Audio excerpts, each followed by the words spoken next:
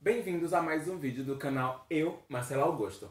E no vídeo de hoje eu vou estar dando algumas dicas de entrevista para o ano voluntário aqui na Alemanha. Roda a vinheta aí.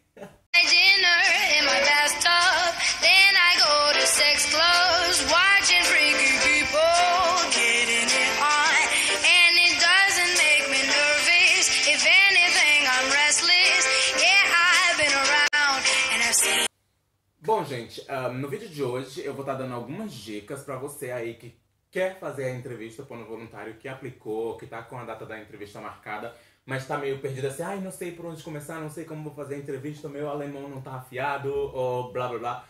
Mil e uma coisas. Bom, gente, hoje nesse vídeo eu vou estar dando algumas dicas de como eu, Marcelo Augusto, fiz a entrevista para o ano voluntário aqui na Alemanha. Tá passando algumas dicas agora pra vocês, porque eu sei o quanto esse idioma é complicado. Eu mesmo, quando fiz a minha entrevista, eu não tinha é, conhecimento nenhum, a não ser o básico do básico, palavras perdidas que não eram suficientes para fazer uma entrevista, né? Vamos supor, óbvio que no nosso país, pelo menos no meu país, nós aprendemos na escola inglês e espanhol e pelo menos eu não conheço ou não conhecia pessoas do meu país que eram encantados pelo idioma alemão, que têm interesse de conhecer e de aprender o idioma alemão. Bom, gente, passando um pouco para as dicas, as dicas que eu vou passar para vocês são coisas bem simples. Primeiro, eu vou é, a primeira dica que eu vou dar passando para vocês é que vocês estudem, que vocês procurem ter o conhecimento de você poder se apresentar.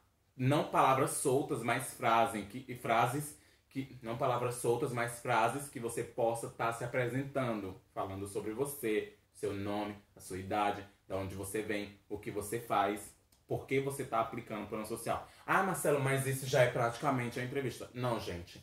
Você vai, você tem a opção de escolher a entrevista tanto em inglês ou em alemão. Eu fiz a entrevista em inglês. Fica ao seu critério, mas é muito importante também que você tenha pelo menos um, um nível é, interme- intermediário ou avançado de inglês, ou pelo menos o suficiente para que você possa compreender bem as perguntas e responder é, as perguntas de forma que- com que eles entendam. Então, assim, gente, após a entrevista, quando concluir a entrevista, por mais que você tenha feito ela em inglês, eles vão estar te fazendo algumas perguntas voltadas para o idioma alemão. Primeiro, eles vão querer saber qual é o seu nível de alemão, se você tem condições de, ter- de manter um contato com uma pessoa. Obviamente que você vai dizer, ah, Marcelo, mas eu vou utilizar essas dicas agora e quando eu chegar eu não vou ter nenhum. Tá, ah, mas de acordo, aí você vai ter o, o conhecimento do, do idioma inglês, que vai lhe ajudar muito no início. O pior é vir pra cá, como tem pessoas que vêm sem nenhum nível de idioma, nem de inglês, nem de alemão, e isso acaba dificultando bastante a comunicação e até mesmo as atividades no trabalho.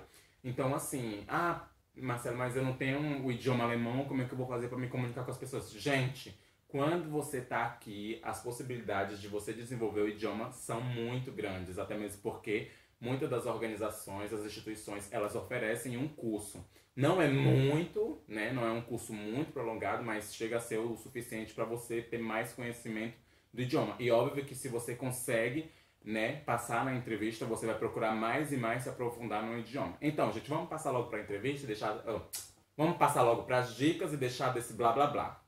Bom, gente, a primeira dica é que vocês estudem frases e não palavras soltas. Ahn, uma dica muito que eu utilizei para mim, que me serviu muito, que me ajudou muito, foi fazer um texto de introdução sobre mim em alemão, né, digitado, tanto ele em português como ele em alemão, e também algumas frases que eu achava que seriam é, necessárias, de acordo com, na minha opinião, porque a gente não sabe como que funcionam essas entrevistas, né?